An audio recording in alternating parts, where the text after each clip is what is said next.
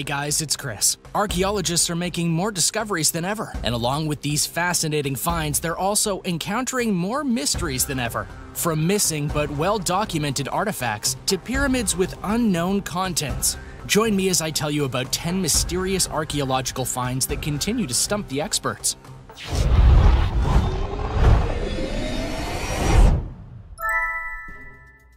Number 9. Naupa Huaca. High up a nearly vertical ravine in the Peruvian Andes, up hundreds of stone stairs, sits the mysterious Naupa Huaca, a stone temple carved out of a hard boulder and containing a shallow door leading to nowhere. The boulder contains three niches, each large enough to fit a single person, as well as a megalithic throne. While all the surroundings and nearby ancient buildings were constructed by the Incans, researchers are hesitant to identify the builders of Naupa Huaca because the design does not align with the culture's typical structures, and the Inca were known to have limited tools to work with, which would not have been able to build such a precise and detailed structure. The temple more closely resembles the architectural designs of ancient Egypt, as its ceilings are cut to the same angle as the slopes of Egypt's two largest pyramids. It's possible that there were people here before the Inca that left this sacred place behind. According to spiritual beliefs and legend, its false door marks the passage of Earth's electromagnetic currents, which are known to catapult people into out of body experiences. Between the structure's extremely difficult to access location and the energy people claim to feel when they visit, it's hard not to believe that there's supernatural elements in play here. For these reasons, some researchers theorize that Naupa Huaca was used for shamanic rituals, as other similar temples throughout the world possess similar characteristics. But truthfully, nobody can concretely say who built it, when, or why and its conspicuously out of place location in Peru, where no other structure seems to exist, presents even more questions. Number 8. The Kaaba Blackstone.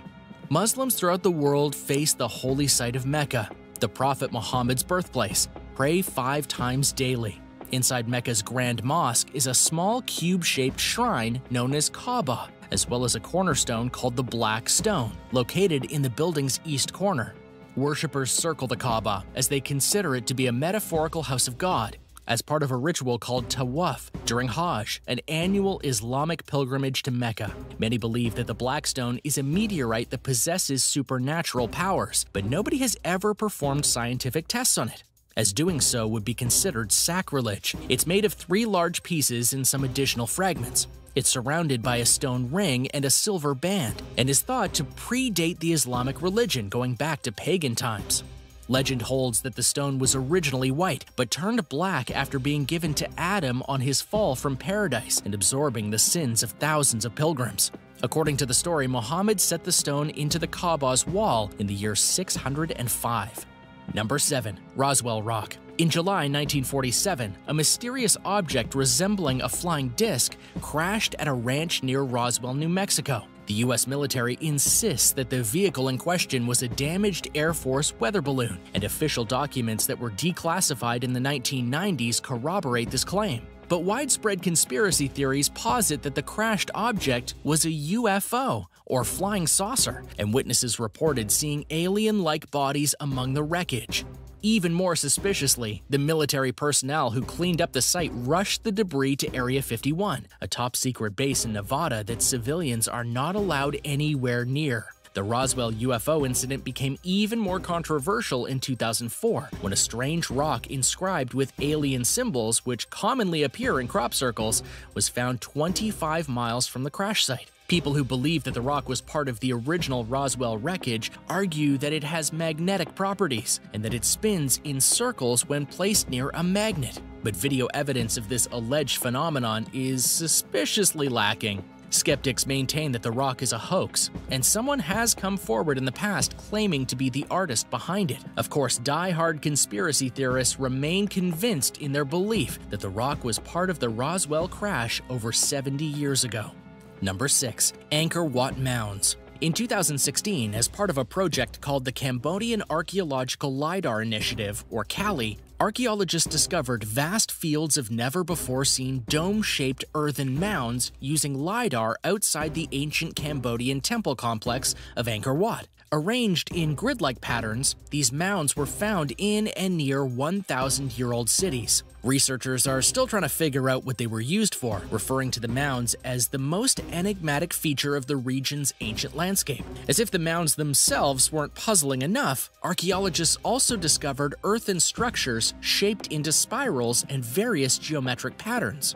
Many of the large ancient cities these mounds were located in were part of the Khmer Empire, which peaked during the 12th and 13th centuries and stretched across much of mainland Southeast Asia, according to archaeologist Damian Evans. Angkor Wat was at the center of this civilization. The mounds, which are now shrouded by thick Cambodian jungle, were found near decayed wooden buildings and structures made with other organic materials. One theory based on mounds elsewhere that were used for farming is that they were used for special plant production. But all experts can do now is speculate as they continue to learn about the ancient empire's urban landscape.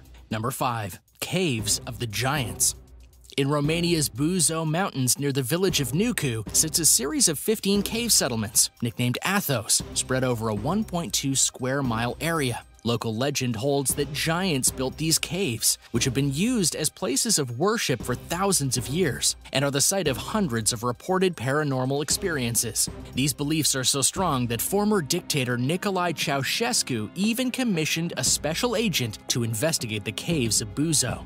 This isolated, off the beaten path hidden gem is close to Bucharest, but is rarely visited by tourists. Getting there is challenging. At the end of a drive, a two hour hike to the final destination awaits, but the journey is just as much a part of the experience as the arrival and makes visiting all the more rewarding. Some of the caves were deliberately carved, while others are natural geological formations. Experts speculate that they were first inhabited around the year 300 by Christian missionaries arriving from the Middle East. Hermits and monks lived and prayed in the caves until the 19th century. According to legend, Romanian warlords and princesses visited to confess their sins. Symbols like crosses, weapons, and icons are carved into the rock. While some appear to be graffiti left behind by disrespectful visitors, other inscriptions are undeciphered and their meanings are unknown. Number 4. Pyramids of Suna. Besides having caves that were supposedly built by giants, Romania is also home to the Pyramids of Suna, a collection of eight mysterious dirt mounds arranged in two rows of four and standing at up to 98 feet high. Located on the banks of the Olt River, practically smack dab in the middle of the country, the grass covered mounds have been around for thousands of years. They were built back in the Dacian times, when what's now Romania was known as Dacia, an ancient kingdom that was essentially destroyed and conquered by the Romans. Word has it that the mounds, which allegedly contain treasure, were perfectly shaped pyramids at one time, but that they became rounded by erosion, courtesy of time and the elements. It's also believed that they house the remains of Decebalus, the last Dacian king who ruled from 87 to 106 AD. Archaeologists have found late Bronze Age near the pyramids, which are said to resemble the tumuli formations that the Celts and Scythians buried their leaders in, along with the rulers' valuables. Another arguably less believable story claims that giants are buried in the mounds, while another version holds that the giants still live inside them and that they become very upset if someone disturbs them. And meat supposedly never rots if you place it near the pyramids, and if you leave a bowl of water there, it gains healing properties. Locals have attempted to dig into the mounds, but local authorities stopped them, and no archaeological digs have been allowed leaving the mysteries of the Suna pyramids alive and well. Number 3. Benben Stone the Benben stone was a sacred object located in a shrine called the House of Benben within the ancient Egyptian temple dedicated to the deity Atum in Heliopolis, which legend claims is of extraterrestrial origin, and also the architectural term applied to an obelisk or pyramid tip called the pyramid. According to one of several creation stories from ancient Egyptian mythology, the Benben stone rose from the dark waters of Nu, a primordial water abyss at a time when the world consisted of only darkness and chaos, serving as a landing place for the deity Atum who created the universe. Upon landing, Atum realized he was all alone and that the world was a rather depressing place. From there, he began creating life, including Shu, the god of air, and Tefnut, the goddess of moisture. Shu and Tefnut took over the work of creationism from there, leaving Atum on the stone. At some point, he became worried about them, removed his eye, and sent it on a search mission. The eye returned with Shu and Tefnut, causing Atum to shed tears of joy onto the stone, which became human beings. But if the original Benben stone ever existed and whether or not it was placed in the house of Benben in Atum's temple, it was lost and remains so to this day. There may have also been more than one designated Benben stone, or it was perhaps just a mythical object. Number 2. Kingdom of Aksum in what is now Eritrea in northern Ethiopia, once stood a city and kingdom of Aksum, formerly one of the world's greatest naval and trading empires between the 1st and 7th centuries. Consequently, Aksum was a melting pot of the ancient world, welcoming visitors and even residents from Egypt, southern Arabia, Europe, and Asia. The civilization reached a vast area when it peaked during the 4th and 5th centuries, extending throughout the region south of the Roman Empire to across the Red Sea, from the edge of the Sahara Desert in the west to the inside of the Arabian Desert to the east. Aksum was also highly advanced for its time, developing the only known indigenous written script in Africa, called Ge'ez, and it also had its own currency. The civilization was of Christian faith and also had its own social hierarchy, with the king and nobles at the top followed by the general population. For all its accomplishments and its importance throughout the ancient world, very little is known about Aksum and its inhabitants. Even though Aksumites had a writing system, researchers have never found any historical records or stories to help paint a picture of what life was like in the kingdom. Number 1. Dacian Fortresses For the last item on today's list, we return to Romania, this time to the Orăștie Mountains. There, you'll find a series of six surviving Iron Age fortresses that were built between the 1st centuries BC and AD by the Dacian as a defense against Roman conquest. They're virtually inaccessible and contain thick walls made of imported materials. The fortresses are made from a combination of religious and military architectural techniques from both the classic world and the Iron Age. One in particular, called Sarmizegetusa Regia, bears evidence of astronomical knowledge among its builders.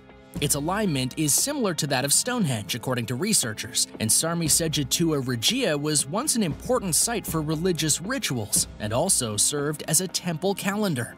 As unique and well built as the fortifications are, they ultimately failed to protect the Dacians from invaders. In the beginning of the 2nd century, the Romans conquered Dacia, and this innovative civilization was absorbed into their empire. The Dacian fortresses are remarkably well preserved, perhaps thanks to their remote and difficult to reach location.